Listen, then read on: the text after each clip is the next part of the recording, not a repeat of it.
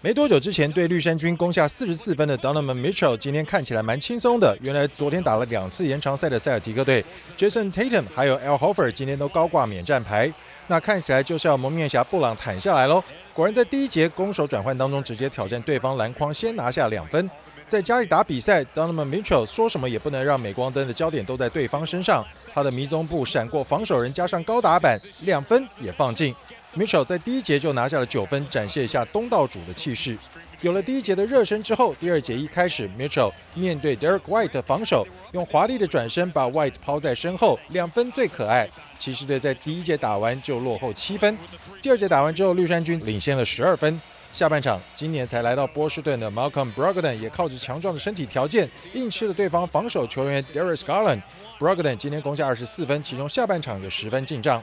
比赛来到剩下最后的三十秒左右，骑士队头号战将 Mitchell 一个人力挽狂澜，闪过了两位防守球员之后，在篮下挑篮挑进两分，给了骑士队一百零七比一百零六的一分领先。